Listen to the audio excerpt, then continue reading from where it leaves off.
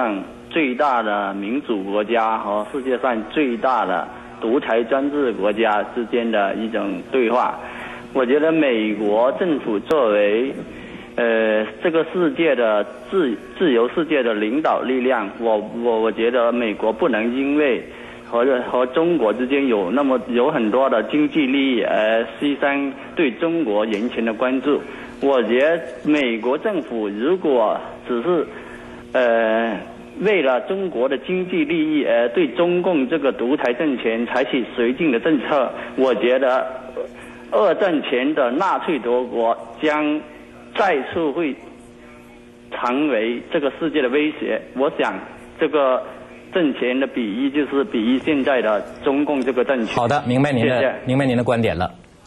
议员先生。我了解刚才呃听众所说的，很重要的是美国呃很重要的是美国呃不能呃忘记人权侵侵害人权的问题。不论是啊，尤其是呃个人的人权，或者是呃公众的人权，比如说呃呃团体的人权，包括呃维吾尔族人还有西藏人。但是在谈这个问题的时候，我们也要注意其他的问题，也要认识到要有进展，就一定是中国政府要决定说要做这些。领域的改变是符合他们利益的，像中国政府，嗯，是不会接受呃听别的国家的这个给他们的这种这种以教训式的方式的，他们是不会接受的。我们要做的是把我们的经验。呃，放在中国的这个背景当中，来改善呃他们的呃经济的效率，还有他们的国家。从美国的经验是这样子的：如果尊重人权、重视法治，呃，让人民有言论自由的话，是会带来一个更强呃强健的国家，让他们更有道义、更有道德，让人民更加满意，也有一个更强的的民主进程、更强的国家。这一点在中国也会发生，就和像在美国发生的一样。我们现在是要呃鼓励我们的好朋友中国。要用他们自己的方式，然后去同样的去注重人权，就像在美国一样，还有像在其他国家，不论是亚洲国家，呃，其他西方国家一样的经验。这些政府，他们让人民有言论自由，他们保护他们的权利的时候，政府是会变得更强，国家会变得更强。这是中国呃，我们应该要帮助中国政府了解的。如果能让人民有言论自由啊，互相合作，实际上应该是要呃用合作的方式告诉他们。好的。那么，尽管呢，这次对话我们回到这个呃美中战略与经济对话这个议题上来，尽管呢这次对话我们都知道呢啊它的主要议题不会啊完全集中在经济方面，但是鉴于呢这个全球经济衰退还没有完全结束，另外呢鉴于美中这两个大国的这个经济规模，所以分析人士预计呢这次经济议题还是不可避免的要超过政治议题，您的看法？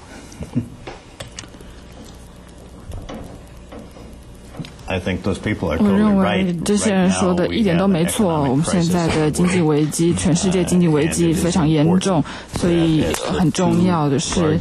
这两个最大的这个经济强国，也就是美国和中国，一定要紧密的合作，才能。帮助全世界走出这个经济衰退，这是目前最急迫的呃工作。呃，在这其中当中还有其他问题，包括达到更多呃更高更高度的自由，呃，在朝鲜半岛的自由和安全。呃，中国政府呃还有呃谈谈过很多这个和其他国家一起谈呃北韩的呃。呃，核武问题，呃朝鲜半岛的去核化是非常重要的，我们一定要互相合作，才能加强呃去核化，呃加强朝鲜半岛的安全，要互相合作。所以这比如说这个问题，呃也一定会呃谈一定会谈到，呃另外还有社会问题，也有人权问题。要鼓励中国政府，要他们要自己去发现，说人权是会带来一个更强的国家，呃，就像我们在西西方国家一样。好的，对不起啊。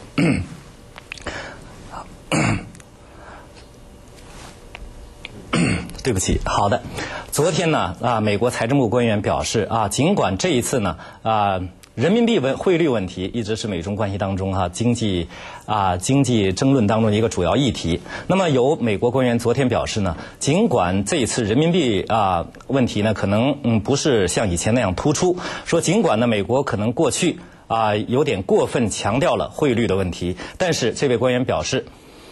美国仍然希望中国的汇率能够更加灵活。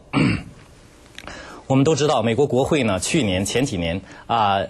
通连续通过了几次有关人民币汇率的这个决议案，啊，呃，指责呃指责北京政府呢这个操纵货币，不知道议员先生您在这个问题上，您您在这个问题的看法是什么？您认为这次美中战略与经济对话会集中讨论汇率问题吗？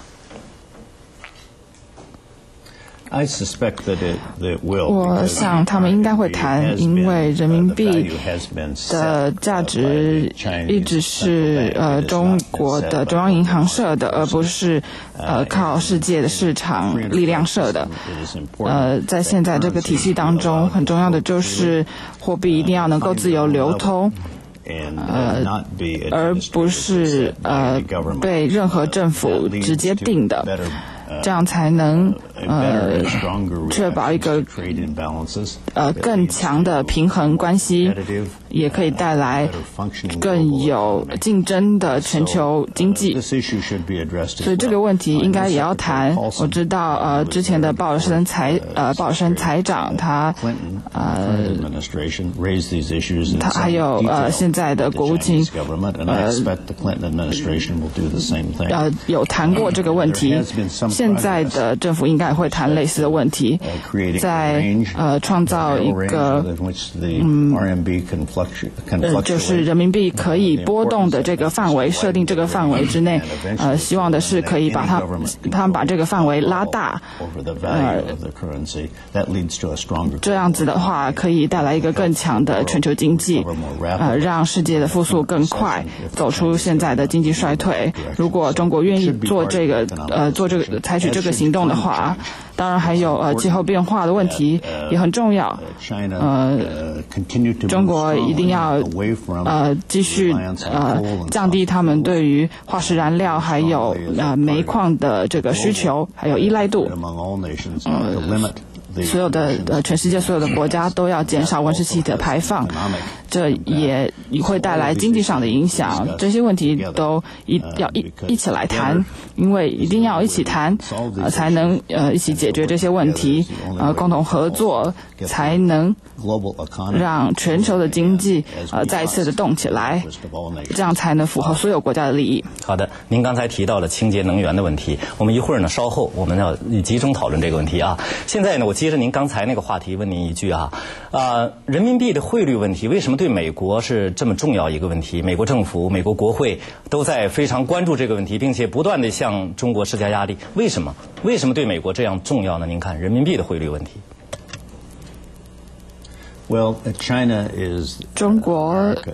是呃美国最重要的贸易伙伴，是我们最大的出口市场。还有美中之间的贸易啊不平衡，呃已经到了一个程度是不可持续的，在长期来。